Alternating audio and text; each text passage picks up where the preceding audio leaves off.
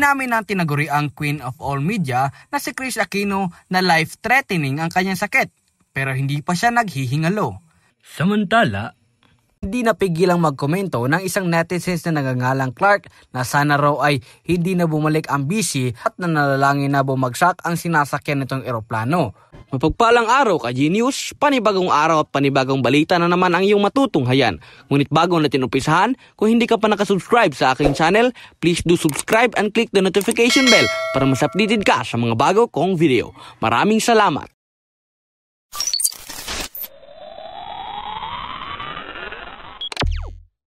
Inamin ng tinaguri ang Queen of All Media na si Chris Aquino na life-threatening ang kanyang sakit pero hindi pa siya naghihingalo.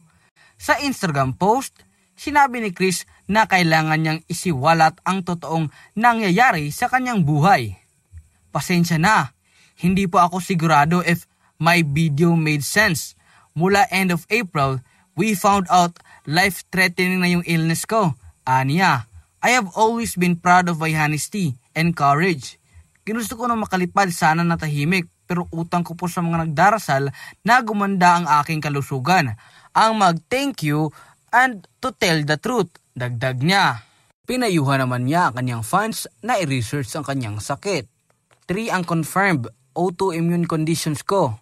Chronic spontaneous urticaria, autoimmune thyroiditis, and definitely confirmed after my third skin biopsy was read by a pathologist here and in the other country. Meron pa akong vasculitis to be very specific, late stage 3 of Churg-Strauss syndrome, now also known as AGPA. Pahayag niya. My team of doctors here and abroad, we've been closely consulting with a Filipino-American doctor and his team in Houston, Texas. Here, the majority of my doctors practice in St. Luke's BGC and or Makati Medical Center, except my neurologist who has clinics in Asian Perpetual and Medical City. They are all worried about organ damage in my heart and in my lungs. Kaya lahat ng paraan sinubukan for me to get to Houston soonest. Yung gamot that God willing can help save me doesn't have FDA approval here or in Singapore. And isasabay na po mag-infuse ng chemotherapy as my immunosuppressant. Why? Allergic po ako sa lahat ng steroids. Paliwanag pa ni TV host actress. Nakiusap naman siya sa netizens na huwag gumawa ng kwento ukol sa kanya.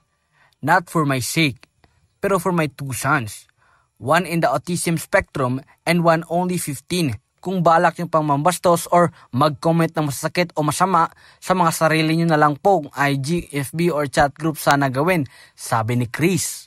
Hindi nyo po ako kailangan gustuhin para magpakatao. Please don't punish kuya and bimb for being my sons. Hindi po masama ang maglakas loob at magsabi ng sobrang bigat na katotohanan. Aniya pa. Sa kalakip na video, muli nakiusap si Chris na tigilan na ang kachismis-chismis sa kanya. Hello everyone! Yung chismis na confirmed ako na nasa ICU, na nag-aagaw buhay. Masyado kayong advance. Minsahin niya, para klaro ang lahat, dahil gusto niyong patayin na ako, well, I am not yet dead. Okay? So I'm going to fight. samantala, Nanawagan ang batikang showbiz columnist na si Lolit Solis na ipagdasal na gumaling at maging maayos ang kalagayan ni Queen of All Media na si Chris Aquino. Sa Instagram post ni Lolit Solis noong Martes, May 17, sinabi niya na sana gumaling na si Chris dahil tiyak daw ay palaging nasa isip nito ang mga anak na sina Josh at Bimbi. Nakakaawa naman si Chris Aquino. Sana naman gumaling na siya dahil tiyak na lagi niyang nasa isip ang mga anak na sila Joshua at Bimbi, ani ni Lolet. Kahit ano pa ang sabihin about Chris Aquino, isang bagay ang hindi mo pwede isumbat sa kanya, ang pagiging mabait at mabuting mother sa mga anak niya.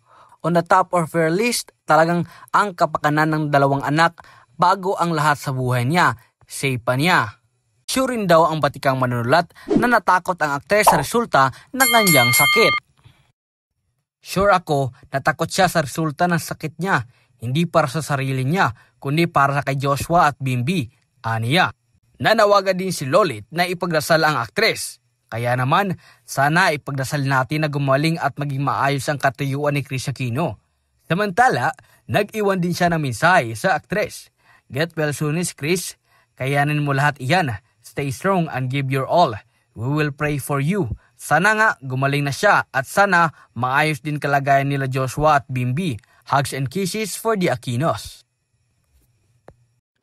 Samantala, matapos nito, nakiusap din sa publiko si UP Professor Clarita Carlos na magkaisang ipanalangin ang agarang pagaling ni Chris Aquino.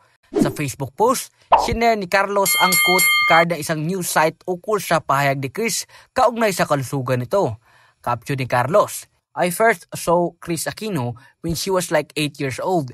While cutting the ribbon of a fast food outlet at the SM North Mall, she delivered her short speech extemp and she was very articulate. We have followed her to her adulthood as the feisty, fun-loving daughter of our president. Later, he shared with us her sadness and her unhappiness from her admittedly many errors in judgment and love. I have always admired her chutzpah, being her own person and not really caring whit what the rest of us think. Today, given her very serious medical challenge, I hope you will join me in summoning all the positive energy to help her heal. Thank you.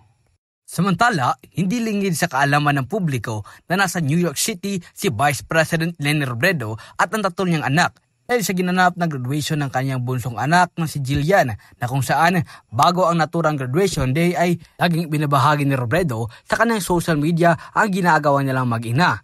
Dahil dito, hindi napigilang magkomento ng isang netizens na nagangalang Clark na sana raw ay hindi na bumalik ang busy at nanalangin na bumagsak ang sinasakyan nitong eroplano. Ngunit hindi naman ito pinalagpas ng mga taga-suporta ni BC Presidente at tinawag ang atensyon ng mga abogado nito. At ayon sa kanyang komento, Huwag ka na bumalik sa Pilipinas, Lenny. Sana bumagsak yung airplane na sinasakyan mo. Dahil dito, sa takot na makasuhan, humingi ng tawad ang isang netizens na ipanalangin na bumagsak ang eroplano ni Vice President Lenny Robredo pag uwi ng Pilipinas mula New York. Sa isang Facebook post, nagsor si Clark Ray Flores kay Robredo at sinabing hindi lang niya napigilan ang kanyang galit na makita ang mga nagrarally na kakamping sa Cebu. Ako po ay humihingi ng patawad sa nagawang kasalanan ko. Nakabitaw ako ng masakit na salita sa iyo. Ani ni Flores ng Mandawi City. Dagdag niya, nadala lang siya sa emosyon. Hindi ko lang po talaga napigilan ang galit ko sa mga nakikita ko na nagrarally, paliwanag ni Flores. Sinabi pa niya na sana ay maunawaan siya ng vice presidente. Tao din po ako, nagkakamali. Agad ko din naman pong dinilit, sabi ng netizens. Bago ito, nagkomento si Flores sa isang post sa Facebook na agad naman na screenshot ng mga kampigs at ikinalat sa iba't ibang social media platforms bago na delete. Mababasa sa comment ni Flores, huwag ka na bumalik sa Pilipinas, Lenny. Sana bumagsak airplane na sinasakin mo. Ipagdadasal ko, talaga yun na bumagsak. Heart, heart, heart. Amen. Sa kasalukuyan ay hindi naman mahagilap ang Facebook page ni Flores. Don't forget to like, share, and subscribe para mas updated ka sa mga susunod naming videos.